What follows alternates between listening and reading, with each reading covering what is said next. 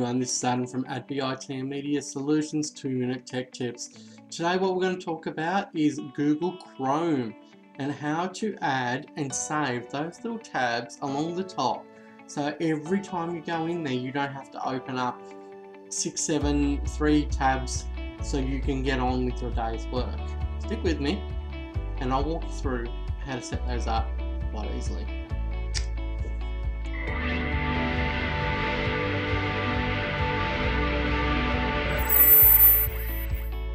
Chrome interface.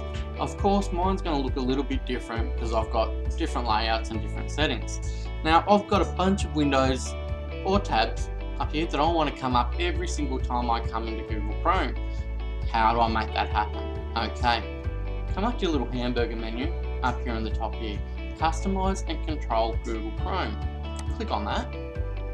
Come all the way down and click on settings this is my settings page.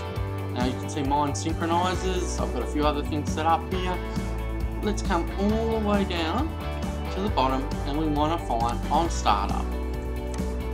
Continue where you left off. That's always a good option because it leaves the current tabs that you were working on. Or, better yet, open on specific pages or tabs.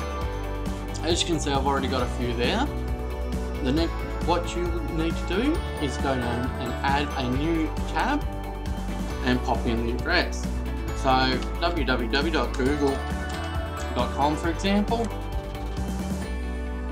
and www.facebook.com.